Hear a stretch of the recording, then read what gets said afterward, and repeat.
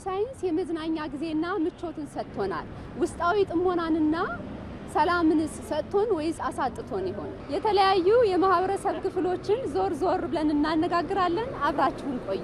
ዘመናዊነት ምንን ምንን ያካትታል? ለምሳሌ አላስፈላጊ ጉልበት እንዳይባክን፣ ተገቢውን የሆነ ሰዓት ሰዎች መጠቀም እንዲችሉ እንዲሁም ደግሞ ተገቢውን የሆነ የሰው ኃይል ብለን ምንለው አሁን ቅድም ጉልበት ባልነው ማለት ነው እና ጊዜን ሰዓትን ነው በዋነኝነት የሚይዘው። ፌስቡክ መጠቀም አንዱ የዘመነኝነት መገለጫ ነው። አሁን አሁን ወይም ደግሞ ሌሎች social ሚዲያዎችን ኢንስታግራምንም ሊሆን ይችላል፣ ቴሌግራምም ሊሆን ይችላል። እነዚህን ነገሮች ስንጠቀም ግን ሙሉ ጊዜያችንን እነዛ ነገሮች ላይ መዋል ወይም መሰዋት የለብንም። ለራሳችን ጊዜ መስጠት ያስፈልጋል። የማሰላሰያ የማሰቢያ ነገሮችን በዝምታና በአርምሞ የምንመለከትበትና ከዓለም ነገሮችን ከሚያይበት መነጽር ውጪ በራሳችን መነጽር መገንዘብ እንድንችል የሚያደርግ ነገር መኖር መቻል አለበት። ስለዚህ ዘመናዊነቱ አሁን በዘመናዊነት ሰበብ ወደ እኛ ሀገር ወይም ደግሞ እኛ አካባቢ ሰዎች ላይ እየመጡ ያሉ ነገሮች የእኛን ባህል፣ ወግ፣ ያስተሳሰብ አቅም እንዳይቀንስና እንዳይጋፋ ወይም ደግሞ ተጽዕኖ እንዳያሳድርና በሌሎች የባህል ወረራ ስር እንዳንወድቅ ጥንቃቄ ያስፈልገዋል ማለት ነው። አስታርቆ መሄድ ይጠይቃል ማለት ነው። ብዙ ሰው ለራሱ ጊዜ የማይሰጥ ይኖራል።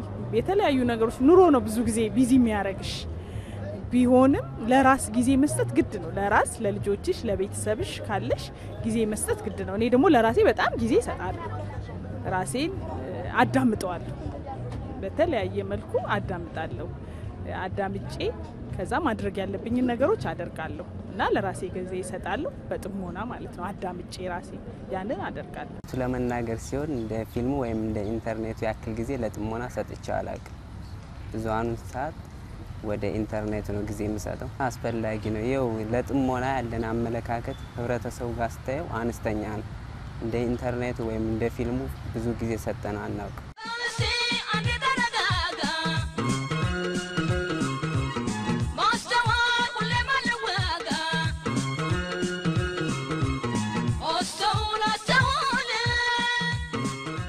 በተለይ በወጣትነት ጊዜ ጥሞና እኔ በጣም ደስ ከሚለኝ አንዳንድ ነገሮችን ለመገንዘብ ጥሞና የሚለውን እጠቀምበት ነበረ።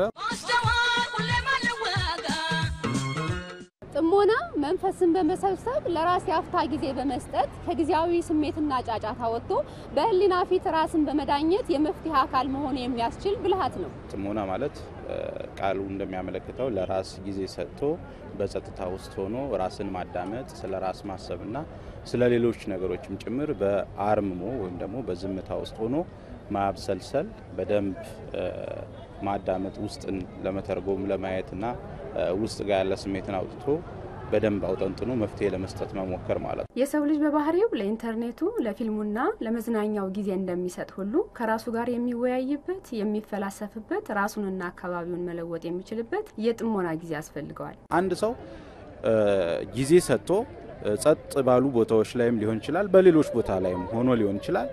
ነገር ግን ለራሱ ጊዜ ሰጥቶ ማሰብ ማሰላሰልና ያሉበትን ችግሮች ለመፍታት መሞከር ነው። ስለዚህ አንድ ሰው ጸጥ ያለ ቦታ ላይ ስለተቀመጠ በጽሞና እያሰላሰለ ነው ማለት አንችልም። በጸጥታ ውስጥ ሆኖ ላሉብን ማህበራዊም ሆነ ኢኮኖሚያዊ እንዲሁም የግላዊ ችግሮች መፍትሄ ማሰብ ማሰላሰልና ለነዛ ችግሮች የተሻለ መንገድ ማፈላለግ ነው ጽሞና ማለት ነው። አሁን ሀገራችን ጋር ያለውን ነገር ስንመለከት አብዛኛው ሰው ለግል ችግሩ ወይም ደግሞ ለግል ለሚመጡበት ማህበራዊ ቀውሶች ሊሆኑ ይችላሉ፣ ማህበራዊ ጉዳዮች ሊሆኑ ይችላሉ፣ ሌሎችም ክፍተቶች ጊዜ ሰጥቶ በጽሞና የማሰብ እድሉ ከፍተኛ የነበረ ነው ቀድሞ ማለት ነው። አሁን ባለው ሁኔታ ግን እነዚህ ነገሮች እየቀነሱ የመምጣት ነገር ይስተዋላሉ። አንድ ሰው ቁጭ ብሎ በጽሞና እንዳያስብ የመጋፋት እድል ያላቸው ናቸው። በሌላ angle ለምሳሌ ብንመለከተው የ social ሚዲያውን ወይም ጠቅላላ ሚዲያ የምንለውን ነገር ብንመለከት ለምሳሌ ለፌስቡክ፣ ለኢንስታግራም፣ ለሌሎችም ጊዜ ሰጠው ወጣቶች የሚያስቡትን ወይም የሚያነቡትን የሚከታተሉትን ያህል ለራሳቸው ጊዜ እንዳይሰጡ እያደረጋቸው መጥቷል። ይህ አንዱ ዘመናዊነት በእኛ ስብዕና ወይም በእኛ ስነ ልቦና ላይ እያመጣ ያለው ተጽዕኖ ነው።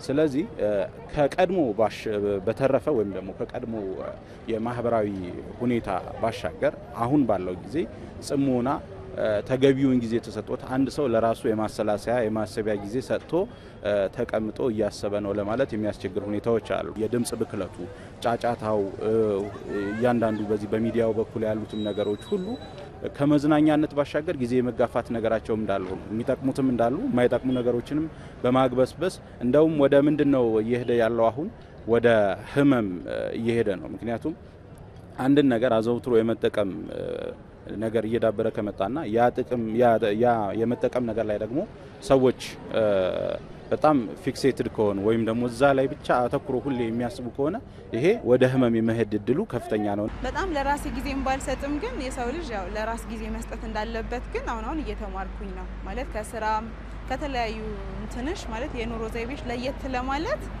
በቃ ለራስሽ ጊዜ ሰጥተሽ ራሽን ማዳመጥ ውስጥሽ ምን እንደሚል መዝናናቱ ምኑም ይሁን ከተለመደው ህይወትሽ ስለሚቀይር ያው ያስፈልጋል። ለራሴ ሰጥቼው የመጣሁበት ቦታ ነው እንጂ ለዚህ ጊዜና ቦታ ባልሰጠው ኑሮ ወይም ዝም ብዬ እንዳልሆነ መሆን ይችል ነበረ። ግን ራሴን ችዬ ቦታ ሰጥቼና የራሱን የቻለ ጊዜ መድቤበት የመጣሁት ቦታ ነው የራሱ። ስለዚህ ለጥሞና ጊዜ ያስፈልገዋል።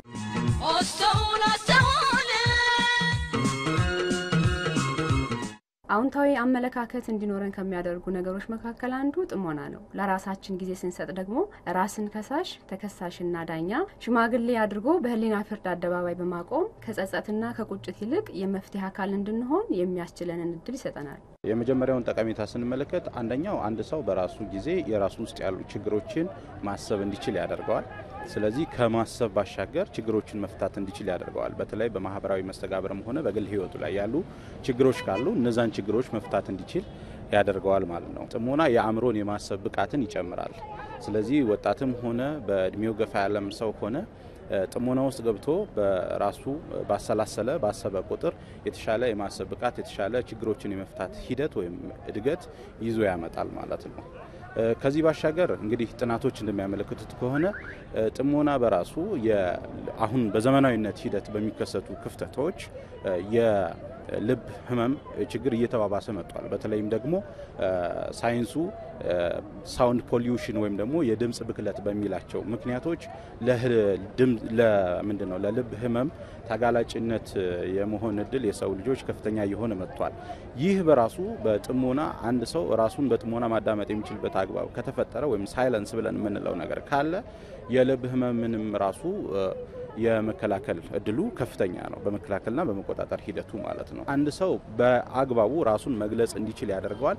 የሌሎችንም ነጻነት መጠበቅ እንዲችል ያደርገዋል። ጥሞና በደንብ ሰፋ አድርገን ስንመለከተው ለምሳሌ ያ ሰው ዝም ስላለ ወይም ደግሞ በጽሞና ውስጥ ሆኖ ስላሰበ ብቻ የራሱን ብቻ አይደለም የሚያስበው ስለ ሌሎችም ማሰብ፣ ስለ ሌሎችም መጠንቀቅ፣ ስለ ሌሎችም ችግሮችን የማየትና የመፍታት እድሉም ከፍተኛ ነው። የሰሩትን ስራ በአዲስ ሞራል በተስፋ ምናምን ደስ ብሏቸው ይሰሩታል። የተለመደው የህይወት አኗኗር ሲኖሩ የሚያልሙትን ወይም የሚያቅዱትን እቅድ ግብ እንዲመታ ያደርግላቸዋል። ምክንያቱም አንድ ሰው ለጥሞና ቦታ ካልሰጠሽው ወይንም ለዛ ነገር እቅድ ጥሩ ውጤታማ ሆናለሁ ብለሽ ራስሽን ፕላንሽ እንዲሳካ የራስሽ ግፊት ከሌለው በቃ ውጤት አልባ ነው የሚሆነው። ያለፉ ጊዜዎች አሉ። አሁን ማድረግ ያለብኝ ነገር ምንድን ነው በሚለው ነገር ካለፉት የተማርኩት ነገር የትኛውን ባድርግ የትኛውን ይስተካከላል ብዬ የማስባቸው ነገሮች አሉ ለራሴ ማለት ወይም ደግሞ አሁን 2011 ገብቷል። ያን ላይ ደግሞ አሁን ምን መስራት አለብኝ፣ ምንስ ማድረግ አለብኝ፣ እኔ ማነኝ የሚለውን በዛው ቸክ አደርጋለሁ ማለት ነው። አሁን ካለንበት የዘመናዊነት ህይወት ጋር አዋህደን ወይም ደግሞ አንድ ላይ አንዱ አንደኛውን ሳይጫን ተስተሳስረው በደንብ መሄድ እንዲችሉ ለማድረግ ያክል የመጀመሪያው ሰዎች ለሌላ አሁን ለምሳሌ ለሚዲያም ይሁን ለሌሎች ነገሮች ለኳስም ለምንም ይሁን የሚሰጡትን ጊዜ ያህል የተወሰነ ሰዓት መድበው ደግሞ ራሳቸውን ውስጣቸው ላይ ያለውን ጫጫታ ለማዳመጥ አንድ ማንም ሰው ውስጡ ላይ ጥያቄ ይኖራል። እነዛን ጥያቄዎች አዳምጦ አሰላስሎና አስቦ ለመፍታት ትኩረት ወይም ጊዜ ሰጥቶ መሄድ ያስፈልጋል። ስለዚህ ልክ ለፌስቡክ፣ ለሌሎች ሚዲያዎች ቅድሚያ የምንሰጠውን ያህል ከነዛ ሰዓት ደግሞ የተወሰነ ቆጥበን ራሳችንን ማዳመጥ ብንችል፣ ወደ ውስጥ መመልከት ብንችል እና ጊዜ ብንሰጥ እነዚህ ነገሮች ታርቀው አንደኛ ራሳችንን እያዳመጥ ዘመናዊነትን መከተል ስንጀምር በሌሎች ተጽዕኖዎች ውስጥ ልንወድቅ አንችልም።